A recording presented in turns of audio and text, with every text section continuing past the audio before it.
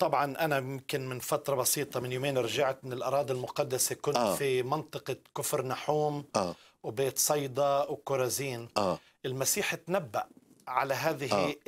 المدن آه وفعلا ما زالت ما فيش حجر على حجر ما طبعاً. زالت يعني آه، طبعاً. آثار آه، تاريخية حتى يومنا يعني مش طبعاً. مجرد كلام طبعاً.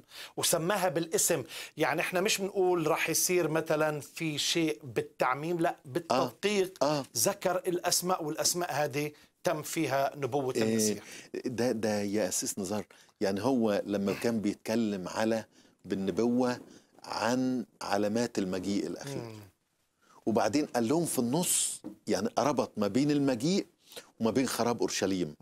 وأنا في وجهة نظري إنه ربط بين المجيء وبين خراب أورشليم حدث قريب وحدث بعيد.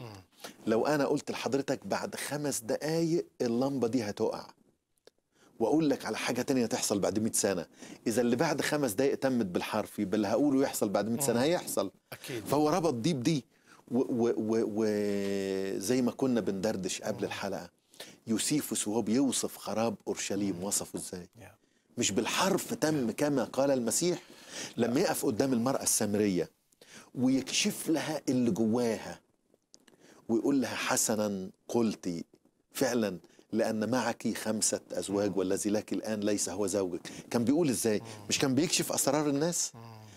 أجل شاهد تاني في لقى سبعة وآية 16 شاهد جميل كده في لقى سبعة وآية 16 بعد إقامة ابن أرملة نايين إقامة مين اللي أقام من الموت؟ مين زيه؟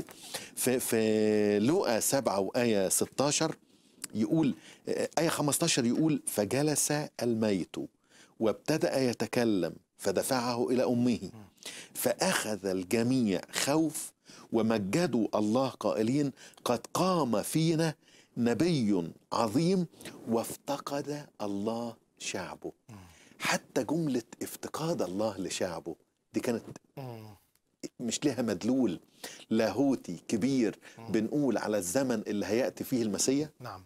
إن الله يفتقد شعبه. أهي تمت هنا.